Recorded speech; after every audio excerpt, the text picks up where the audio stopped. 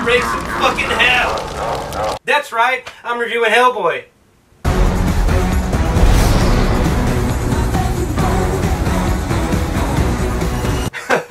Alright, ghouls and gals. Like all my new movie reviews, I'm gonna keep it short, sweet, simple, and to the motherfucking point. Alright, guys, uh, Hellboy 2019, as I like to call it, stars David Harbour as the titular character Hellboy, Milla Jovovich uh, as the Blood Queen, and all these lovely people. This person right here, this dude right here, this older actor right here, whose name is eluding me right now, but I'll put his name here at the bottom. And also stars this person right here too. Boop. Alright guys, um, before I get this review started all the way, I just want to say, uh, Hellboy is one hell of a fucking movie, pun intended.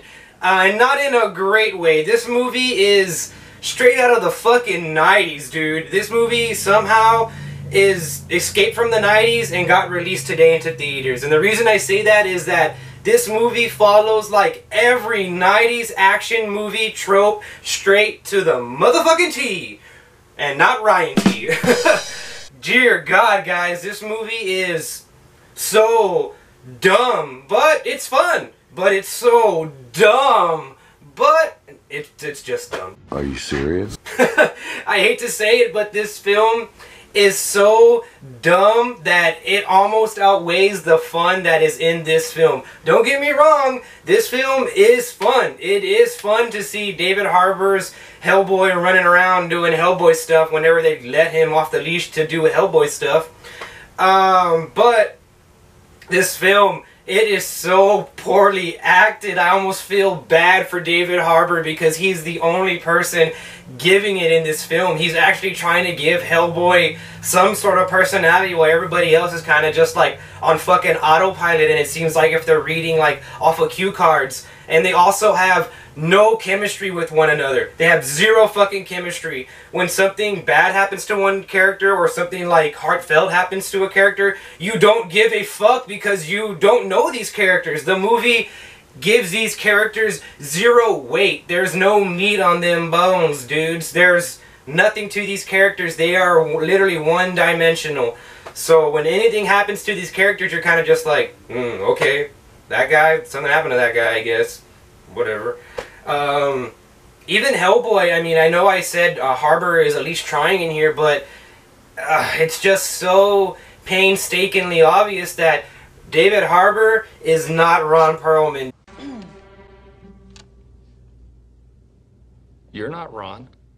David Harbour's Hellboy uh, comes off as kind of a little bit whiny and kind of like a sassy Twitter troll, whereas uh, this Hellboy, the Hellboy that everybody all know, we all know and love, comes off as kind of like a smart mouth badass, and that's, you know, from what I understand, the Hellboy character is. I'm not the hugest uh, Hellboy fan, nor am I a Hellboy historian, but I would venture to say that die-hard Hellboy fans think this is probably the definitive live-action Hellboy.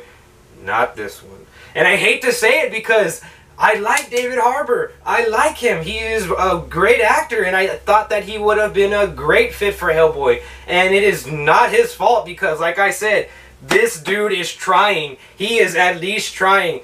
This chick, not trying. This chick, not trying. This guy, not trying.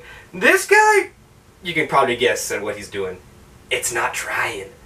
So that is a big drawback for this film. That is a fucking punch to the dick for this film. Uh, the cast. The cast seems like if they just do not care. And from what I understand, behind the scenes, this movie was fucking hell. And that's the second hell pun that I'm going to use today. but seriously, guys, I heard that the behind the scenes drama in this film was really fucking terrible. And it kind of shows because this movie is just so disjointed and none of it like connects. It just feels like a um, a series of events instead of a film. Like Hellboy and company go from one place to another place to another place without really any explanation as to why they're there or how they got there or how this serves to the greater plot as a whole. That's another thing. The plot in this film is so simple that it baffles me that this film was able to make such a simple plot so convoluted. The, literally the plot is Hellboy is a paranormal investigator. He finds out about this Blood Queen, and then he has to stop said Blood Queen from taking over the world and rising the demons and monsters from the depths of hell. That's pretty much the, the, the plot. That's the plot right there. And if it would have just stuck to that plot, it would have been, or not, maybe not, it would have been, eh, okay. But Instead, it's like, hey, well, what about if Hellboy is related to King Arthur? And what about if we throw all this medieval shit in there? And what about if we don't really even show the main villain of the film and we show this fucking man-bear-pig thing the whole time? That's another thing that pissed me the fuck off. Why would you get someone like Milla Jovovich, not saying that she's a great actress because she isn't, but she is, you know, a noticeable face in Hollywood. Why would you get her as your main villain and not have her as the main fucking villain in the movie? She is literally like in five minutes of the fucking movie and that is re-fucking ridiculous. Instead, most of the runtime is spent focusing on fucking Man Bear Pig over here who's just an annoying villain. He's inco inconsequential to the fucking story. Well, to be honest, he is really the main villain because I'm not going to spoil that part, but it really revolves around this man bear pig fucking thing. And it's just, ah, I don't get it. Why? Why would you make, why? It, you make no sense, movie. You make no sense.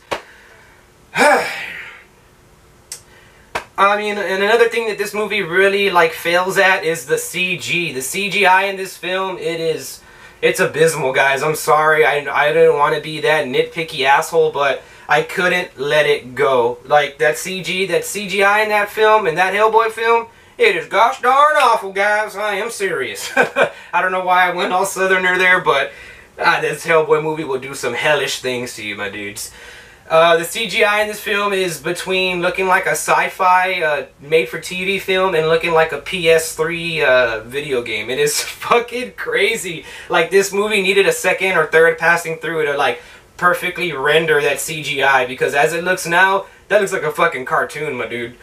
But I digress. Um, that isn't this film's main uh, main flaw. Its main flaw is the cast um, them not having any any chemistry whatsoever, the film having a villain that is non-existent, and the film convoluting a very simple fucking plot and the dumbness outweighing the funness. That's one thing that really made me sad because at the end of this day, at the end of this day, at the end of the day, this film it has all the ingredients. It was rated R. It had David Harbour as Hellboy. It had some badass gory moments. It had some actually some pretty good practical effects. But it takes all of those good, nice ingredients, puts them into a blender, and pours it all out into a cup, and it is just a fucking shitty piece of fucking crap drink. And I hate to say that because I was one of the people rooting for this film. I was so open to having another version of Hellboy because let's face it, the only good Hellboy is the first one. The second one, The Golden Army, it left a lot to be desired.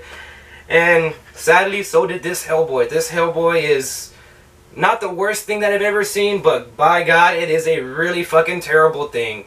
So in summary, guys, Hellboy is a dumb 90s action film that somehow made it to the, the to the theaters today where the dumbness outweighs the funness and the cast just doesn't seem like they don't even want to be there.